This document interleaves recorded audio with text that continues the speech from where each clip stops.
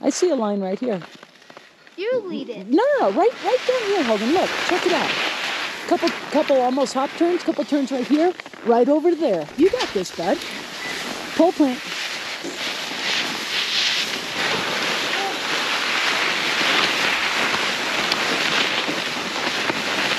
There you go.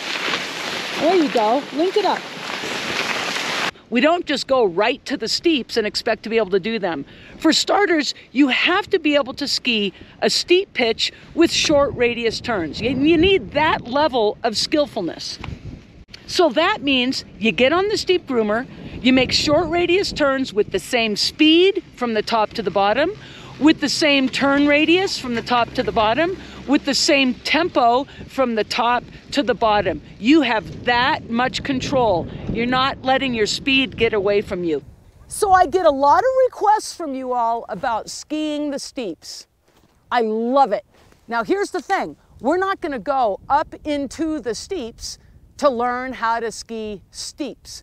We need to cultivate our skills first before getting into the steeps so that we can be successful when we get there. We're going to start with the basic side slip, okay? We need to be able to side slip down the fall line, maintaining our corridor, not squirting forward, not squirting backwards. That's showing some control. Look at how I'm adjusting and steering just with my lower body, completely independent of my upper body. My toes get below, or my heels get below my feet. I am maintaining the corridor the whole time through my subtle adjustments. I'm not squirting forward and side slipping.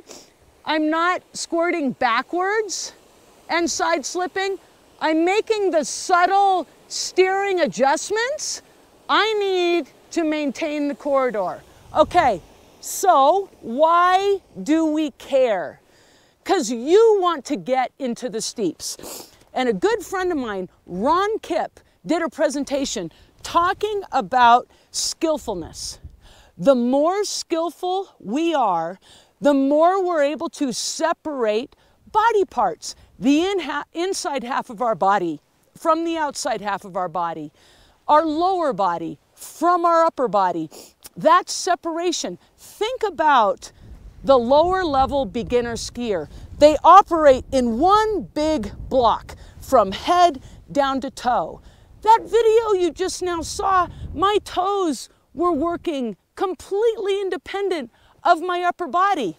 My toes and my foot. That's skillfulness. Let's do a little more. Maintain the corridor with your side slip. Okay, now I'm gonna do some falling leaves. Look at my upper body, independent of the action and steering of my lower body. Then we can move into some short radius turns. You have to be able to ski short radius turns with shape and maintaining the same speed the whole time if you want to get into those steeps. Let's go back up. You got to earn it. That's where the reward comes from. Feels good. Okay, so let's say you were talking to some folks who've never skied steeps before. Yeah. What, what are some things that are important to know about skiing steeps? If you fall, Always get your feet below you. Wow. That's a good one, Hogan. It's true. Thank you. What's another good one? Pole plants help. Pole plants help. That's a fundamental, isn't it? Yeah. No, I, I'd say more than pole plants help. I'd say pole plants are a necessity. Like, you got to have a pole plant. Okay, what else? Um, never um I don't know. Don't know? Can, can you can you straight line a a steep? No. How come? You're most likely to catch a tip on a tree and fall and roll and die. Huh. In other words, turning's kind of important, isn't it? Yeah. Here's the thing that I liked about that, Liesel. You skied it fast, but not too fast. You skied it fast and athletic, but you were in control.